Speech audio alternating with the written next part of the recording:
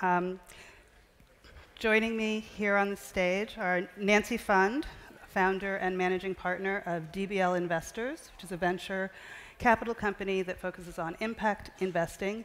And in this case, DBL stands for double bottom line. Also with me is Yngve Slyngstad, CEO of the Norges Investment Management, um, which manages, among other things, the country's nearly $900 billion pension fund. Correct? Welcome. Um, so I'd like to start with, with you, since um, earlier this year, the fund has been starting to divest from coal um, assets. And so just wanted to ask you to start, if you could tell us how that's going, first of all, how far along you are, and, and what kinds of, um, what are the considerations as you think through getting rid of some investments? What do you bring on in its stead? So okay, this has been uh, been a readjustment of the portfolio we've been doing for some years now. Um, so big picture is that we try to sell out of some of these companies who have large negative externalities uh, that we do not like to have in the portfolio, and we invest more in type of companies that have positive externalities. Um, what it meant in practice is that we, uh, in the 2000 and, uh, and um, 2012 started to sell out of some palm oil producers who were cutting down subtropical rainforest. 2013, we went into selling down some of the coal, coal companies, those who are pure producers of coal. What is new now is that we take a harder look at uh, the utility sector, the electricity generating sector, uh, where the new direction is that we're selling out of those electricity producers uh, who, in their energy mix, do not have a concrete plan to get the coal users below 30% of the total energy mix in their, in their production. So this is something which is ongoing. Uh, it's an ongoing dialogue with the companies, and uh, it's uh, not only sort of mapping where we are, but also seeing what kind of investment plans they have, what kind of risk management they have going forward. Mm -hmm. And so once you do drop something from the fund, how do you think about replacing it? What we have sold out of, kind of those business models that we can think of non-sustainable in the long run, um, is approximately the same size, size, as our what we call the environmentally related portfolio. Mm -hmm. um, so we have a dedicated portfolio that invests first of all in environmental technologies, uh, everything from batteries uh, to uh, water cleanage technologies, etc. Mm -hmm. These kinds of companies, I would think, have different risk profiles. So, just as, as on a pure investment level, how do you sort of match those risk levels or those perceived risk levels? Well, it's very different types of portfolios, of course. It's, it's no real one-to-one match between the two of them. Uh, but as a portfolio as a whole, of course, it gives a much better uh, carbon uh, footprint, and it uh, hopefully will give better return in the long run as well. If you take one step back, you know, we're a fund that, of course, as we mentioned, is large, approaching 900 billion US dollars. Um, but the more kind of defining characteristic of it is uh, it is really a fund for future generations. Uh, our mission is to safeguard financial wealth for our grandchildren and their grandchildren again. So when we do this, we do this for the profitability for 30, 40, 50 years forward. Uh, whether coal companies will be better than um, renewable companies for the next year or two is not really the investment view we're, we're involved in. Okay. So Nancy, you're um, very much on the, a different end of the spectrum here. Um, in some ways, you make some of the riskiest investments, right? You, are an early stage. Um, so how do you look at your two bottom lines when you analyze companies to invest in? Well, um, first of all, thank you for, for having me. It's great to be at, at this conference at such an important time. So we made a decision from the get-go when we started DBL that it was a no sacrifice investment approach. And that means we're not going to sacrifice financial return for a social impact. Now, some people do do that, but we don't. We were traditional venture capitalists and so we really set about to prove that you don't have to sacrifice one for the other. And we actually now, 12 years later, we believe that this, the second bottom line enhances the first bottom line because we've had extraordinary returns with companies like Tesla and Solar City in our portfolio. Uh, we really uh, have paved the way for some of the massive investments that we're hearing about this week, that you can uh, use innovation, the entrepreneurial economy, uh, different business organizations to address climate change and, as the president just said, create. Uh, create meaningful careers for folks. And it, is, it isn't just what Tom Friedman said that you need a middle class that needs you know, clean, cheap energy. These new companies are helping to create the middle class in many parts of the world. Mm-hmm. And so the social impact is, just goes on and on. So when you're looking, and this is back to you on this, the portfolio, when you're looking at all the different kinds of risks, long-term profitability, that kind of thing, um, do you feel you have all the right tools? Well, you know, when we look at uh, our investment portfolio and think of it in terms of risk, um, it, these issues are really hitting it on three different levels. You know, we have 550 billion US dollars invested in equities. More than 100 uh, billion of that is invested in what you can call the whole energy complex. Mm -hmm. So of course, these climate risk issues is not only a question for the oil companies, the um, coal producers, but it's the auto industry, it's the chemical industry, of course, building materials, etc. Um, so we of course have to deal with what is obviously an energy transition that is directly affected those, affecting those 100 billion dollars of investing. More generally, we're also um, having what we call a nearly a universal owner status because we own 100, well, we, we own nearly 10,000 companies. Uh, we have a stake in nearly all companies with a market capitalization worth more than 100 uh, million US dollars. Mm -hmm. So, as a, one of our main exposure is just you know the sustainability of the world economy, and the way we're diversifying with basically buying one percent of everything out there. Uh, a key risk aspect for us is just will the world economy develop in a sustainable fashion for us in the long run. Um, that kind of assets, you do not really cherry pick one corner of the market or another. You, you diversify and spread yourself out on the whole thing. So in one sense, our portfolio is reflect, it's just a reflection of the whole world economy. So the development in the world economy is probably uh, the one key risk factor on that mm-hmm. 30-year view. Mm-hmm. So Nancy, what about you? Where do you, where do you see that? The operational risk, yeah. the methods. Well, everyone says clean tech venture capital is different from regular venture capital. I've been both. They're, they're not that different. I mean, it comes down to analyzing the market. And I mean, there is more of a regulatory risk. You have to jump into policy in this field and, and help to, sh to shape it with your companies. But it really comes down to the team, the, the market size, the, the growth, the differentiation of the technology, and, and whether it's scalable and whether the marketplace is, is able to be penetrated by new entrants, or are the incumbents going to be so fierce that you know even if you have a great product, it won't get sold to anyone? And I think you see a whole continuum. Certainly, Tesla uh, has been a you know, tremendously successful company. It's already over half the market cap of General Motors, which has been around for 100 years. Uh, but doesn't mean that we haven't had our, uh, you know, uh, fits and starts along the way. There are you know, innovation is messy in, in any sector. And I think the, the issue in, in this sector is that it's been 100 years since anything interesting has happened. We're all living with our grandfather's electricity system, so we don't rec recognize that the same kind of innovation that we've seen in phones and radio and computers uh, is happening now in energy. And it's about time because obviously we have critical goals to solve in terms of climate, but the good news is that the entrepreneurial benefits that we've had in, in other fields are, are the same that we're going to experience here, and we already are experiencing. And we are creating the iconic 21st century energy companies to join and in some places replace the, the, 20th, first, the 20th century versions. Mm -hmm. So one thing that um, people in the sort of renewables world say is that um, the venture world has been very fast to catch on and to see that you know this is the future and you know back companies like Solar City or Tesla, but that institutional investors have not yet followed suit, even though many of these companies have grown, the assets are considered very good.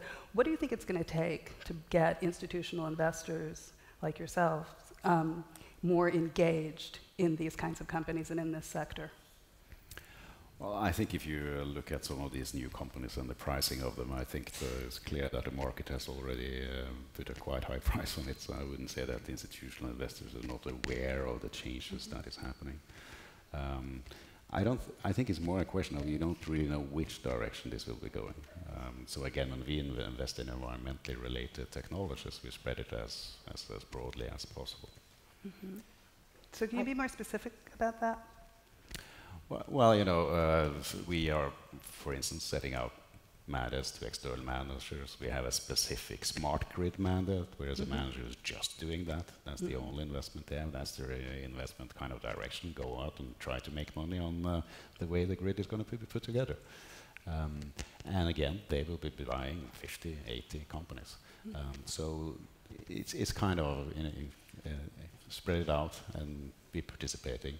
And as soon as these companies get to scale, of course, they will be priced by the market for the potential future profits.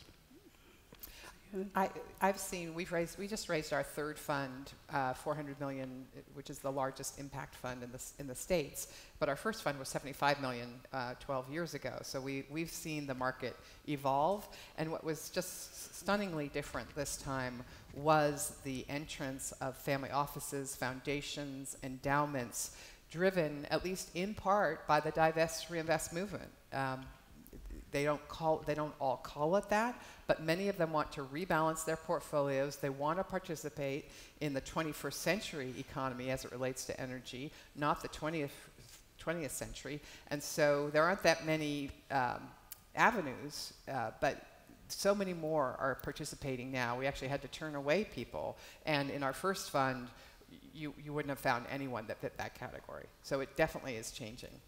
So what kinds of investors are you seeing are most interested in coming to the, into this space? So it's, it's, it's a diverse group, just like any uh, venture capital fund, but particular interest to large uh, high net worths, family offices, um, foundations, endowments. Uh, we have some uh, faith-related groups that are that are interested, and then we have the traditional insurance companies, um, banks. We have a few banks and pension funds. Mm -hmm. Okay. So one thing that um, we had talked about earlier that you mentioned was this idea that we don't yet have the sort of the next generation um, transformational energy companies. Like there is no Google or Apple yet. Um, I actually like you both to speak to that. Do you see, I mean, where, where do you think that kind of company might come from? You know, NRG was setting itself up to be that, and now we don't really know what direction it'll go. Well, and, and, and obviously we're, that, that's an issue right now, and I, I, think we all really applaud David Crane, the CEO there. You know, he really tried and he, he made a difference, but it's really hard to, to create a revolutionary business under the the roof of a traditional business. I mean, that's why the, you know, the buggy whip companies didn't move forward. I mean, you, need new entrants that aren't held back by legacy businesses. And I would argue that we, we have the, uh, the, the big names. Uh, I mean, certainly Elon Musk, I think, is, is as, as famous as, as Apple, you know, getting there. And, and we're, we're building these companies. It hasn't even, you know, it's been a little over 10 years, a little under, under 10 years in the case of Solar City. Uh, so, you know, it, it, takes a while for these to, to gestate. But, um, you know, there's a pipeline that's, that's coming along. Uh, Nest, uh, you know, helped to develop the in-home visibility, and, and of course now as part of Google. But there's a whole crop of new entrepreneurs out there, many of them coming from the tech world, uh, wanting to uh, make their mark, not just as a fantastic uh, financial success, but to do something that really matters. So I think I don't think we're, have, we're going to have any shortage, and I, and I would argue that we've, we've already started in terms of building the big names uh, for 21st century economy. Where do you see that going? Well, it would of course be great if you can uh, come up with a company and uh, identify it early that would change the world and be the next Google or Apple in its space. Uh, the way we're approaching it, uh, as I said, we try to diversify it as much as possible. But not only that, I think you have to play both the long-term kind of revolutionary technology type companies, but also the more mundane kind of medium-term energy efficiency, uh, where the gains are obvious and quite large and probably, in the big scheme of things, probably more of an impact. And that can be getting to market and changing the way we do business and the way we consume energy and, uh, in a quite rapid and, and very impactful way. Mm -hmm. But energy efficiency is not necessary. I mean, it's not the first thing investors think about. I think it's been complicated for a lot of people to wrap their heads around how to make money off of it. Are you seeing that change? I, I think it is. You know, I mentioned uh, I mentioned uh, the smart grid and things like that coming in. Uh, I think also when you, when the last panel session here, kind of, you know, focusing on how to get rid of subsidies instead of getting up to the, with a carbon pricing scheme that everybody will subscribe to. You know, we have to take the easy wins in the medium term if you can get them, and then of course continue work full, term, full time for the very long term wins as well. I think you see that in the energy complex also. If you if you look at the world today, you have roughly one third of the energy consumption is oil, another third is coal, then you have 20 percentage on, on, uh, on uh, the gas and nine on alternatives and maybe four on, on nuclear. Mm -hmm. So the whole game there is kind of how do you kind of replace the coal with some of the others? And maybe you have to actually replace quite a bit of the coal with gas first. And you should be willing to take that game as well, and then you can work for the longer game for the for the alternative energy mm -hmm. at the same time. But I think it's very important as investors that, and also as policymakers that we just recognize that we have to play all time horizons here. Hmm. Just, I was thinking about your comment about the, the next Googles and um, just it's all relative, isn't it? Because we just made it our first investment in Africa in a company called Off Grid Electric, which is bringing a little solar and little ion lithium battery to, to Tanzanian roofs in a, in a energy efficient light, so that they don't have to use kerosene lamps, which are obviously not healthy, and they don't have to walk miles to charge their cell phones. And this is all they can get all of this pay as you go, pay with your cell phone um, and less than what you pay for kerosene right now. So it's kind of like, what's not to like about that? And in fact, uh, installing at the rate of 10,000 uh, rooftops a month. I mean, just an incredibly scalable, massively scalable opportunity. And in terms of the Google comparison, uh, there's no workforce ready to do this. Um, trained and ready, uh, just as there wasn't in the early days of solar in the US. So the company has created an academy, and they, they get a lot of the graduates from the, the university in Tanzania, and then they get uh, they come to be trained, and then they go out and they, they work for the company. And there are 800 employees. In this area of Africa, there's only 4% of the population that is middle class. So, you know, a huge drag uh, in terms of uh, economic development and quality of life. And so, what they're saying about this company, 800 employees, is, is kind of a lot for a three year old company in Tanzania, is that it's everyone wants to work there now. It's becoming the Google of hmm. Tanzania. Mm. So these are the kinds of companies that will transform uh, whole regions as well as lives within the next decade. Great. So I think we'll take some questions from the audience. You can email us at q at nytimes.com, and I'll take some questions first over here if we have any. Okay, um, I have two questions that I think follow on what was said. One is Do you agree with what Al Gore said at the start of COP21 that investors should move their assets from fossil fuels to renewables or risk stranded assets? And then, following on that, how can ESG screening be mainstreamed in the investment community? Well, I certainly agree with Al Gore. I mean, he's a colleague. Um, Generation Investment Management is, is uh, while does more public stocks than, than we do private, does the similar kinds of investing. And as I said, uh, we wouldn't be at 400 million if people didn't believe that it was time to let go of, of fossil fuels as the engine of, of, of growth uh, in terms of um, the economy and, and energy use. So, and there are so many more alternatives, and uh, you don't want to the last thing you want to do is miss an innovation cycle if you're an investor, if you're a CIO at a university, if you held on to mainframes and mini computers when Apple came on the scene, you probably didn't keep your job that long. So it's, it's time to move on. That's what I would say. You want to answer the question about ESG? Yeah, screen? well, I can take uh, take a shot at that. But uh, but first, you know, selling out all uh, hydrocarbons. Uh, yeah, I, I think kind of philosophically, we believe more in uh, in playing all um, all companies that's there, including, uh, including the incumbents. Uh, and get there to change their business practices. A lot of what we're doing is uh, creating expectations, formalizing them, and writing it down and sending it to the companies on how they should change the way they're doing business. Uh, so we have a specific expectation document for climate change risk for all companies, including the oil majors and others which goes to both addressing their investment plans, uh, how they're dealing with climate risk in their concrete practices, and how reporting on emissions and other key variables, uh, the data that we need as investors. Uh, so I think, you know, kind of sort of just, well, let's just leave that and invest in something else is not necessarily the best answer. Uh, it's rather working with, uh, with all the companies out there. And I think the same thing goes with the ESG. You know, we are working consciously on the whole area of all the companies that we are investing in and trying to be uh, standard setters or participating to be standard setters, participating in research and participating in, in kind of the dialogue to improve the business practices. Uh, rather than to sort of say we'll not invest in this but only in this, etc. I think that's more fruitful and is probably uh, more impactful also in, in, the final end. So rather than own, not own, we have to go there and engage with the companies and do active ownership. Okay, I think we can take one at least from the floor if there are any. Yes, you, sir.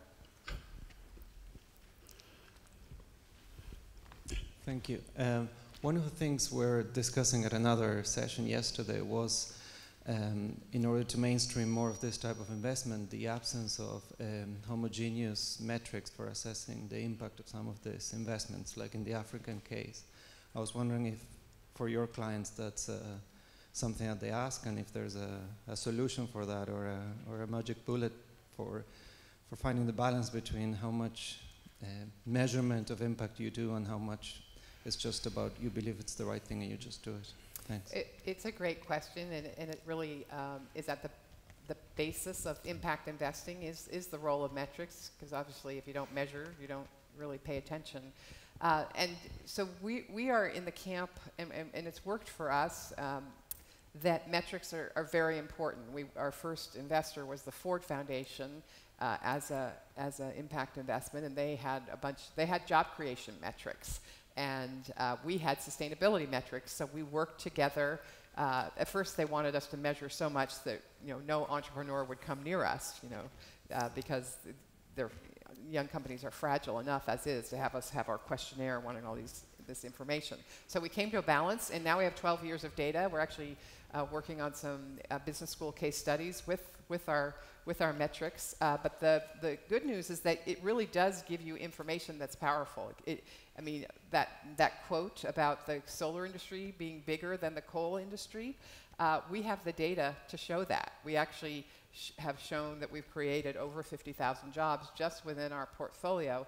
And uh, in any any industry, jobs have political power. And so jobs is, is one of the tools to get sustainability to have more political capital because no politician wants to do anything that will reduce jobs. So the, the metrics, you know, you have to uh, think about them. They need to last. You can't change them midstream, but they can be enormous, uh, enormously powerful in helping your companies gain um, the hearts and minds of, of the population.